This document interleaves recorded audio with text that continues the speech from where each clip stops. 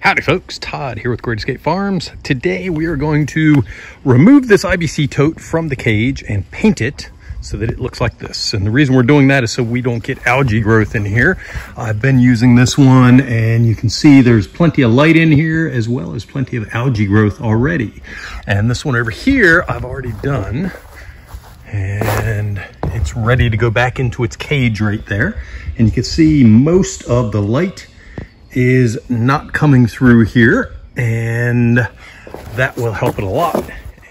If you stick around towards the end of this video, we'll show you a couple different ways to wrap the IBC tote in plastic versus painting and let me run over the process. So first thing we're gonna do is remove the tote and this is all the stuff I'm gonna show you in the video. So we're gonna remove the tote from the cage and get it out and then we are going to wash it because as you, well, hopefully you can see in the video here, there's just like crud and stuff uh, on the outside. Then we are going to give it a light sand uh, just with some hand sanding uh, on the paper or hand paper and then we are going to spray paint some primer paint and that's going to be a dark color black. And if we left the black on it would get very very hot. So at that point we're going to come back with the white. And as you'll see in the video one coat of white isn't enough because you'll see all the streaks. So a second coat helps keep some of the sun out as well as makes it look better. And then we're going to put it back into the cage and set it up for some rainwater harvest. So let's go ahead and get moving and let's take take this one out of the cage. Okay, real quick, let me explain the process of what we're gonna do. So these two straps up on the top need to come out and they are held on with star bits. There. So that is what the star bit looks like or what the star screw looks like. This is what the actual bit itself looks like. And we, we need to remove both sides and it is held in by this little plastic piece right here, at which point we need to kind of maneuver this around, turn it sideways. We have to lift it up over top of this once we get the screws out and then turn it sideways and pull it out. see if I can, yeah, that pops off nice and easy.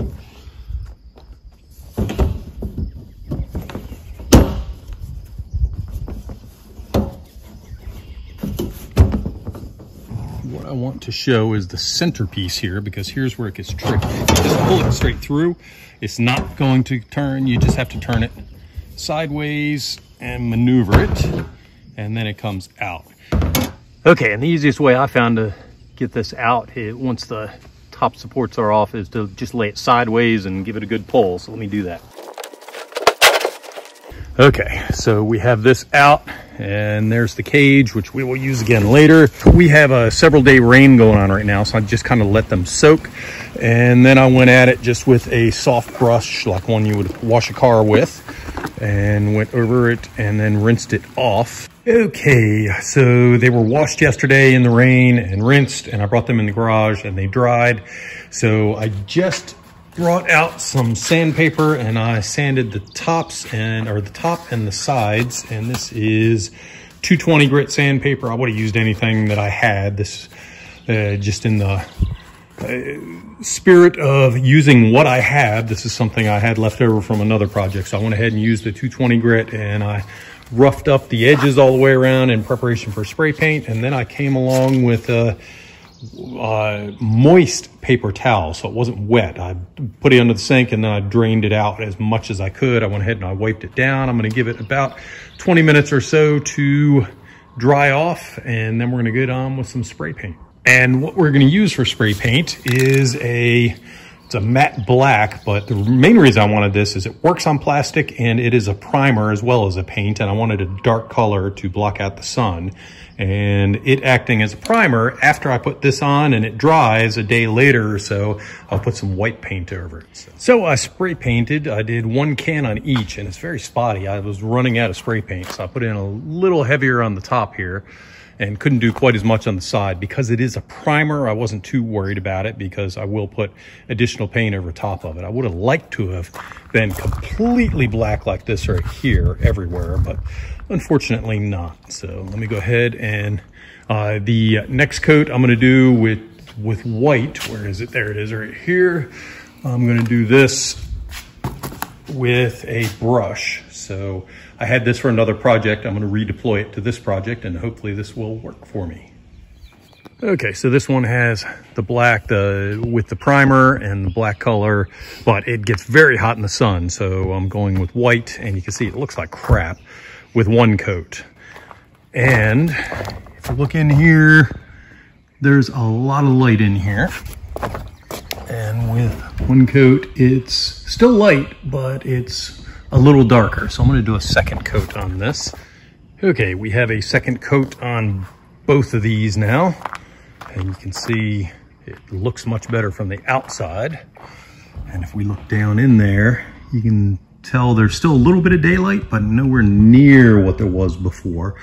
And I still see a little bit over on that side over there and a couple other spots where you get some shadows and we may be able to cover those up. And actually, when they're sitting on that, we have a solid bottom that they're on. We also have the corners here that actually help provide a little bit of shade as well. So hopefully that will give us enough. I'll go ahead and move these in here. I'm risking scratching these, but because I didn't wait for the paint to fully dry. I mean, it's dry, but it should wait actually probably a week or two before I go putting them in. I may scratch it up a little bit and I'll just do some touch up on those if that's the case.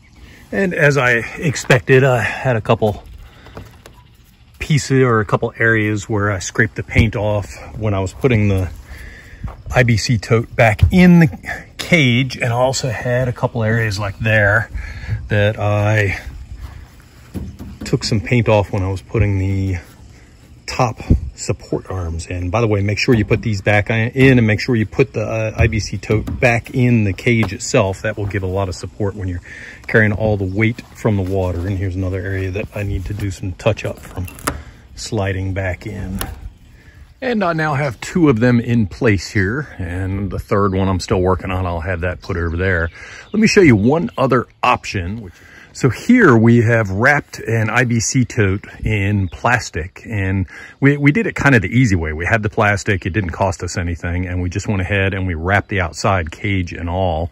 And yeah, it doesn't look the prettiest in all the world, but it's worked for actually four years. So it's been wrapped around for four years. You can see it is starting to here and the plastic is just starting to tear up on us. A better way to do this, which will actually have it last longer, is to do like we did earlier in the video and remove the bladder of the IBC tote itself, the plastic part from the frame. So go ahead and remove the plastic and once it's removed, go ahead and wrap just the bladder itself in the pla whatever black plastic or whatever color you have. And then what I did is I duct taped it down near the bottom and then put it back into the cage and put it back in and it lasts much longer that way. So this is a very good way of blocking out light and it will work very well if you have the plastic. Again, I am on a budget this time and it was cheaper just to go with a couple cans of spray paint and use the other white paint that I already had laying around versus going out and buying another roll of plastic because I did not have the plastic right now. Previously, I did have an excess of plastic from another project I was working on and that's why I went with that way. So that is it for this video. We have a whole playlist on rainwater harvest. You can see this is one right here, as well as the previous system that I'd shown you. And we also have some larger ones. So go ahead and check out our playlist.